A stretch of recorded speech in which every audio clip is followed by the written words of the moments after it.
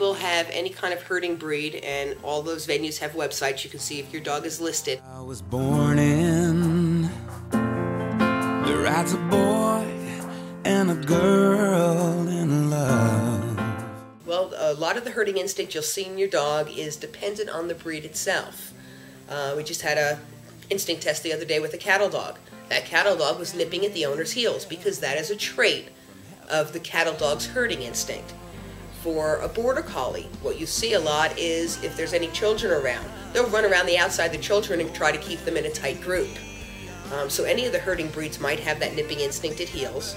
Um, a lot of times you'll notice it when you take your dog for a walk. If it wants to keep running in front of you, and I don't mean pulling you, but I mean literally running in front of you and then facing you, it's trying to stop your motion. That's also a herding instinct.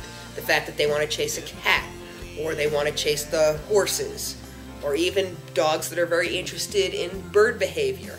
Any kind of activity, if your dog's trying to run, you can go to a park with pigeons. And if your dog tries to run around them to gather up pigeons, although they fly away, that's signs of a herding instinct.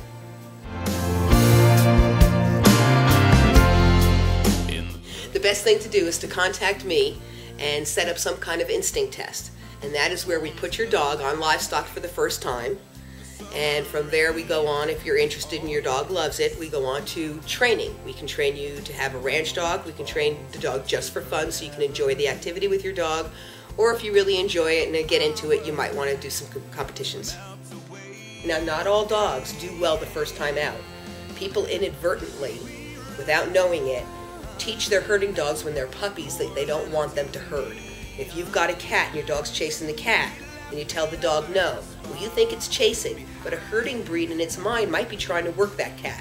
Same thing, I have a lot of people come out and their dog doesn't turn on the first time, and it's because I find out through a conversation with them that they've stopped them from chasing the neighbor's horse down a fence. That dog wasn't just chasing, that dog was actually trying to work that livestock. Um, so a lot of times you have to come out more than once. But after the first time and your dog likes it and you want to proceed, you just schedule with me at any time. It's a ranch, it's open 24 7, 365. Um, and you just schedule another appointment. And we get to the point where first I work your dog, and then when you get comfortable and see what the dog is supposed to be doing, then you start going in with your own dog and start making your own bond and, and teamship. We start in a round pen, and when your dog's successful there, it's about 70 foot diameter round pen. It has no corners, therefore the stock can't hide from the dog, and everything moves smoothly. The next we move up to the next size arena, which is 100 by 100. And we work from there.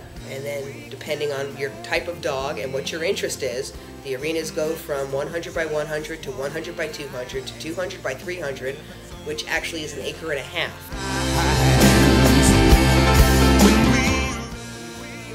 Best reason to bring your dog out for herding instinct, to see if it has it, is really for the enjoyment that you're going to get partnering with your dog and the enjoyment that the dog's going to get from doing what it was bred to do.